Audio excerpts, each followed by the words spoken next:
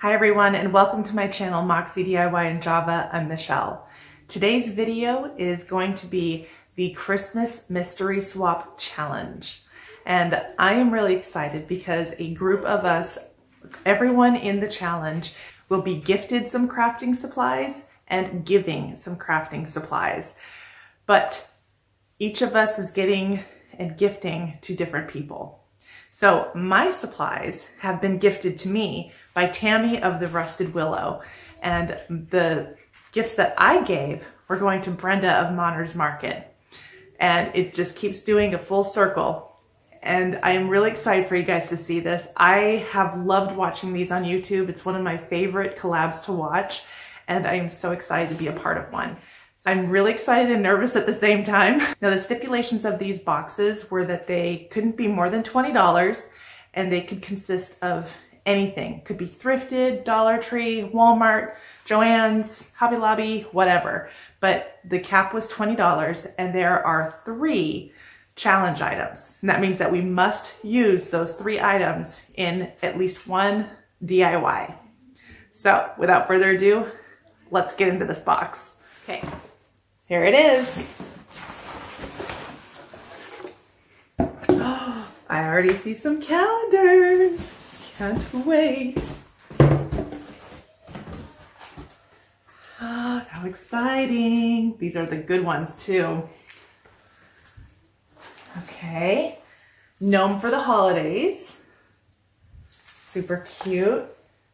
Oh, here's a note. Aw. Thank you, Tammy. These are so yummy. Oh, I can't wait. My dog is interested too. Sweet little card. And it says, Michelle, Hey girl, I'm so excited to see what you make out of all the stuff I sent. After you open the challenge items, I hope we can still be friends. Oh no. I sent chocolate for your crafting pleasure. LOL, happy crafting. Tammy, the Rusted Willow. P.S. I have horrible handwriting. Your handwriting is much better than mine, so I can totally read it. Thank you so much, Tammy. So we'll get to the challenge items last. Okay, little plaque. Oh, these never came to my Dollar Tree. I never saw these. That's exciting. It's got a little hook on the back. Okay. Got some napkins.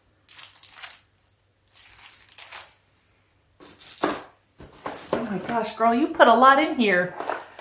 Some trees. So if you saw one of my previous videos, I made a swag with the Halloween trees. So maybe I can do something with these. I've got two of them also.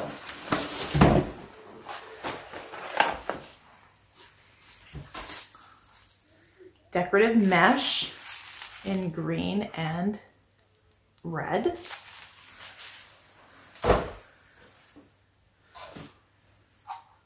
Oh, I love this ribbon. I've gotten this in the past. It's good ribbon.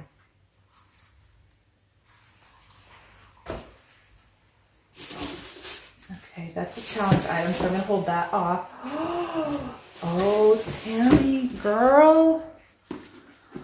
Vintage books. Oh, I love the smell of books. Do any of you love the smell of books? Oh my gosh, this is so exciting. Oh, I don't know if I'll be able to DIY these, but they are gorgeous. We'll figure something out. Okay, the galvanized word, happy. Oh, these never came to my Dollar Trees either or if they did, they sold out very quickly. It's the uh, wooden bead uh, picture frame. Okay, my wheels are turning. I'm, I'm, I've got some ideas. Cute little camera picture frame.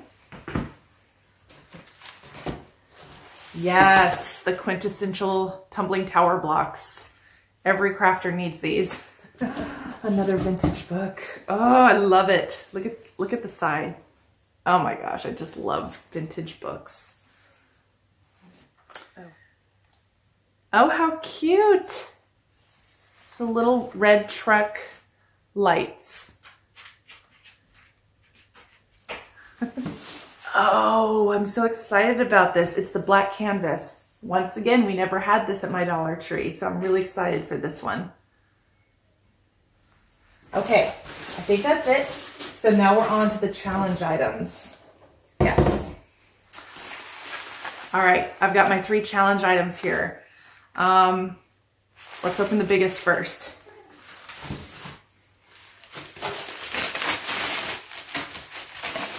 It's very lightweight.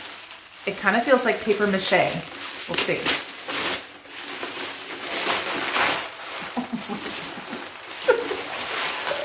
Not paper mache, it's plastic. Oh my gosh. It's a pink flamingo. Okay. Okay, we'll make this work. okay, challenge item number two.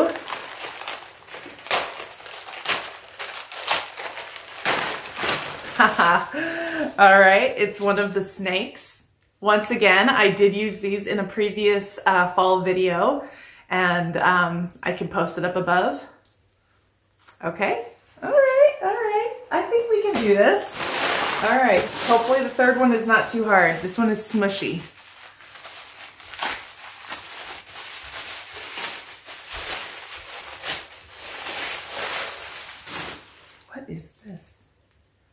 Faux fur muffler. All right, this screams Christmas, so I know I can figure something out. All right, so that is everything from the box. Tammy, you sent me a ton and I love it. And I still love you even though you sent me a pink flamingo. I don't know what I'm gonna do with that. I will figure it out though. So stay tuned and you'll see how I DIY these.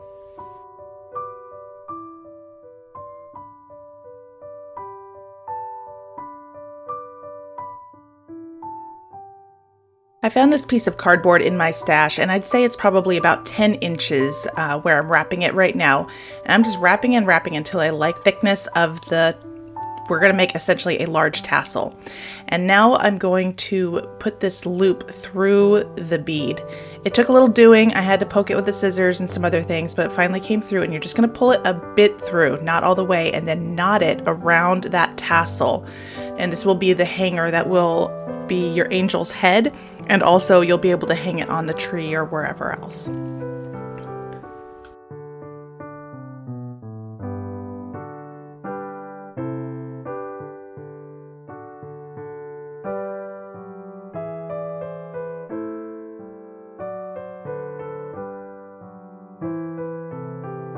On top of the bead, I'm going to make a double knot to keep that in place.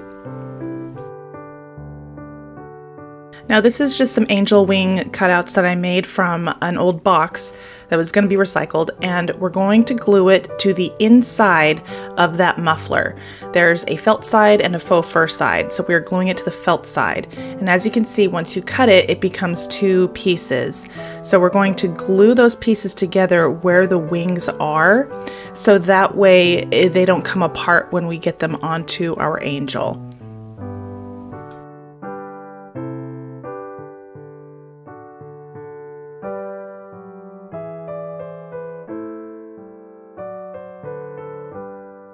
Now when I put glue on these parts of the wings, some of the glue did show through, and to fix that I just kind of smushed some of the faux fur around that glue to cover it up, and it did a really good job of camouflaging it. These mini craft sticks are from Walmart, and I'm just going to glue those to give the wings a little bit more stability.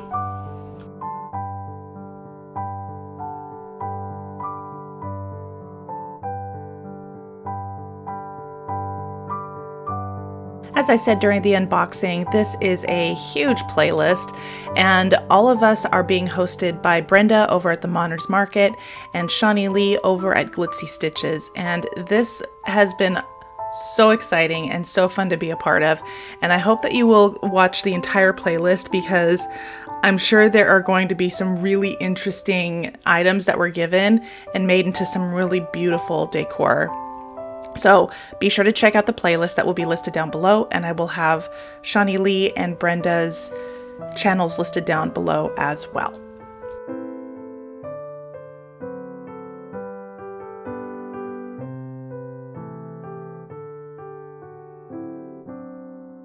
Okay, we're going to get our painting out of the way. First thing we're going to do is cut off the tail and the head of this snake. Now, this is going to go around our flamingos. That went flying.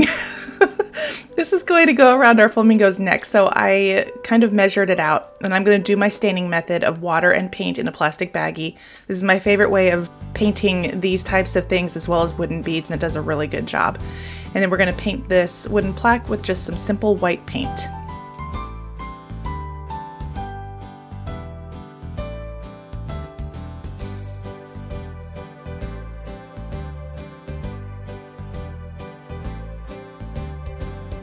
Now onto the trees. We're not going to be using any of the plastic hardware that comes with it.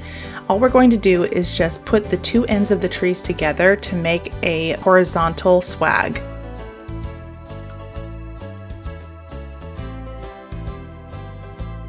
going to use two zip ties and we're going to put them on loosely at first so that way we can make sure that these trees are exactly where we want them to be.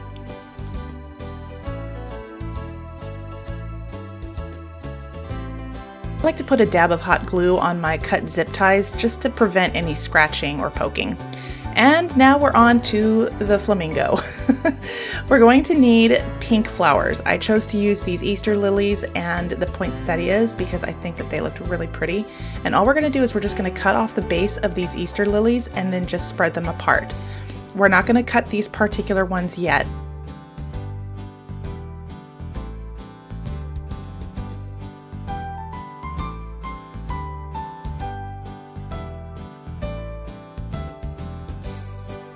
We have the tail feathers on. We will be following the direction of these feathers with the rest of the petals of the leftover flowers.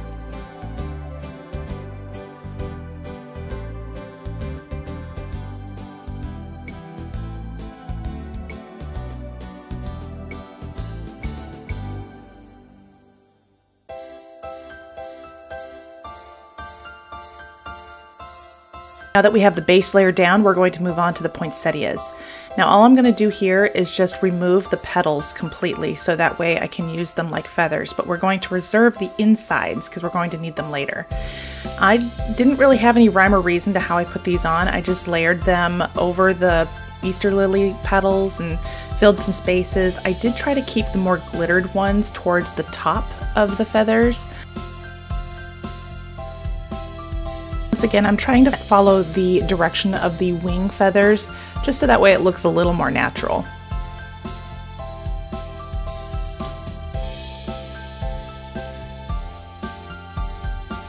I am also on Instagram and Pinterest, and if you are as well, I hope that you will come and look me up.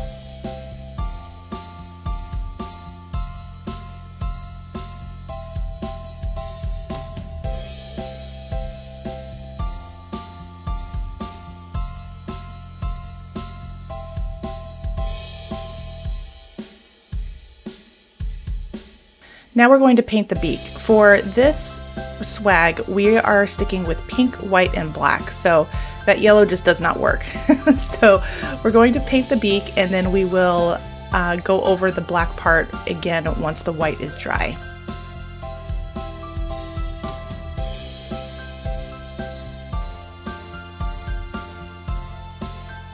I found these mini pink ornaments at Walmart and this particular one says let it snow and it's really adorable. So what I'm going to do is I cut off the twine that was holding it and we're going to put it onto this larger twine, glue it down, and then we'll put the ornament on top to make it look like it's hanging from this plaque. cut this decal off on my silhouette and it says just not here. So the plaque in total is going to say let it snow, just not here. Because this font is pretty skinny, I'm going to go over it with some matte Mod Podge just to keep any letters from falling off.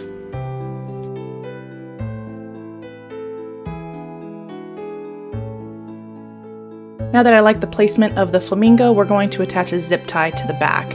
And to do that, I'm just going to use hot glue and some scrap ribbon to keep it in place.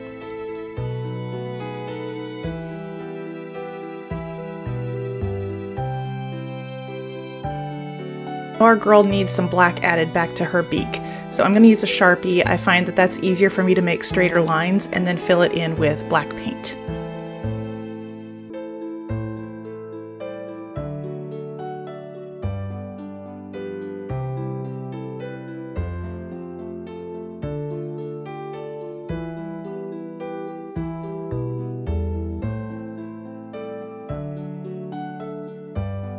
Now that the snake is fully dry, we're going to attach it around her neck and make it into a wreath. To keep it in place, I'm going to use a couple dabs of hot glue and also some of the branches from the trees. These lights were in my stash, but they came from the Dollar Tree.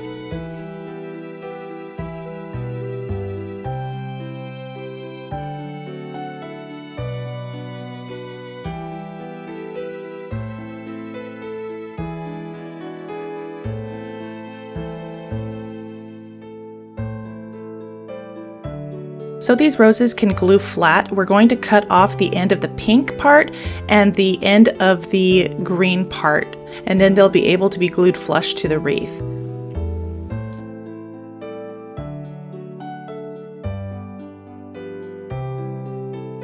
During the filming of this video, we were having a terrible windstorm, so you will notice in a little bit my lighting will change because we lost power for a little bit.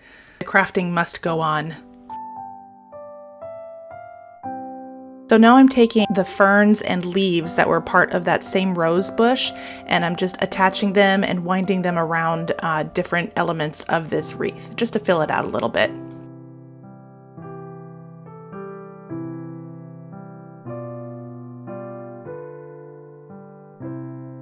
And here's where the lights went out.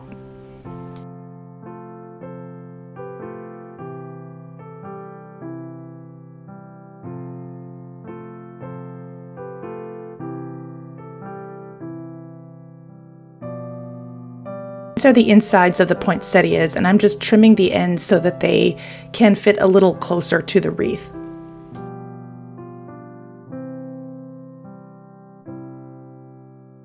As you can see, I pre-arranged some flowers and ornaments. Everything is from the Dollar Tree. These are the roses and ornaments. And I just tried to stick within the pink, white, black, or gold families. This is some Dollar Tree ribbon that was made into a shoelace bow.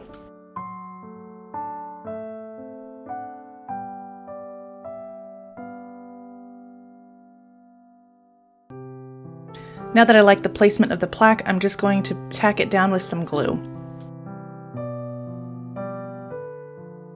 Oh my gosh, I love how this turned out. I hope you guys like it too. Now to hang it, I just looped together some of the fronds from the trees to make a hanger in the back.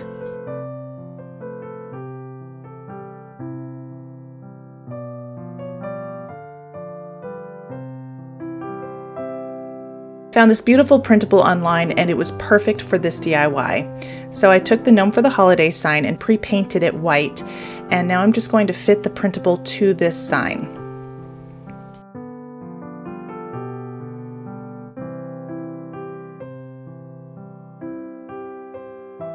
Now as you can see, it does not fit all the way to the bottom, but that's okay. So what I did was that I painted the black on there to make it look like the little road continued and I'm going to use these paints to continue the colors of the scene. We're going to use the plastic of this frame to figure out which parts we need to cut out. Now I wanted the little boy uh, towing the dog on the sled as the scene for inside the camera but it's a little too wide so what I'm going to do is cut where the boy is holding the rope for the sled and we're going to make that rope look shorter.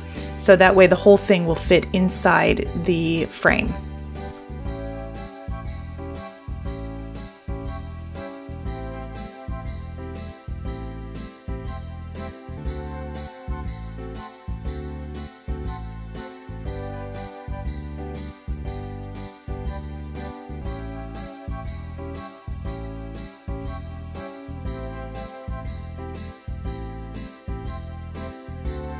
If you are enjoying this video so far, I hope that you will consider subscribing and turning on those notifications and even hitting the like button on this video.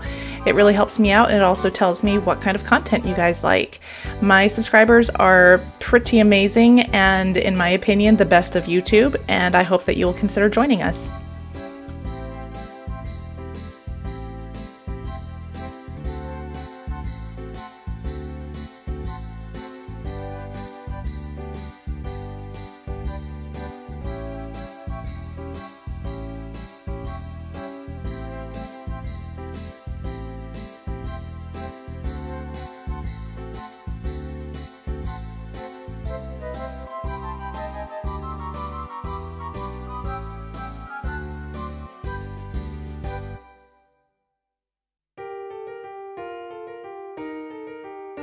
Now, I am not a painter, so my version of this will not look like the painting. But like I said, all I'm going to do is just include the colors from the painting so that way it doesn't look like it's as big of a separation between the graphic and plain white. You will see in a little bit that I do add a little extra pieces from another printable. It's the exact same painting, I just printed it twice.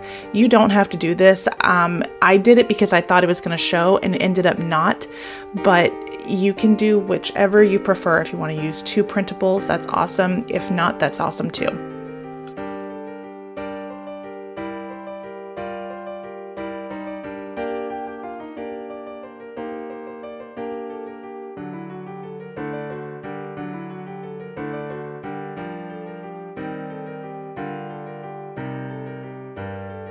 I'm just cleaning up the edges with my sander. And now I'm centering the camera close to the area where I cut out the boy with his sled. And I do add some vinyl to the end because I felt like it needed something. And as you can see, it says Holiday Memories.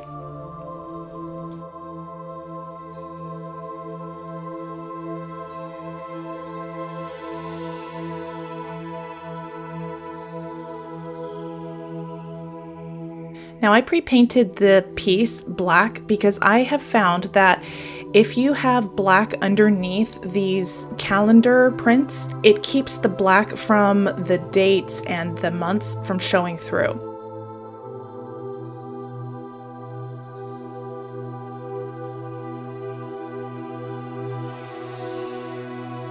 Now I don't know if you can tell, but this piece does have slats in it and I wanted to keep the look of those. So I'm going to be cutting the print in the size of the slats and to make that easier on myself, I'm just using scissors to score it.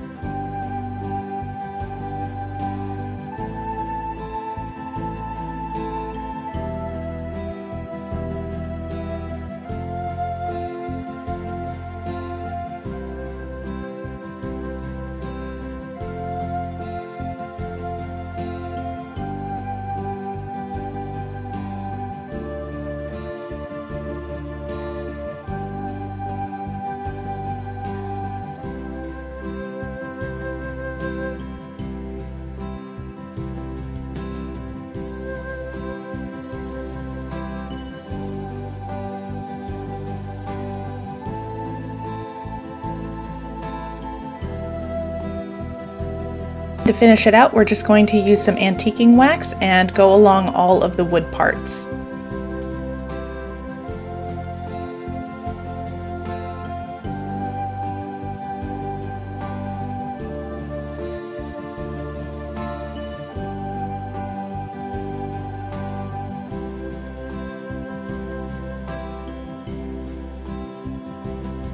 I had a blast making these and I hope that you enjoy how they turned out too. Comment down below and let me know which one is your favorite. My favorite is actually the pink flamingo. I loved how that turned out and it, it was beyond my expectations.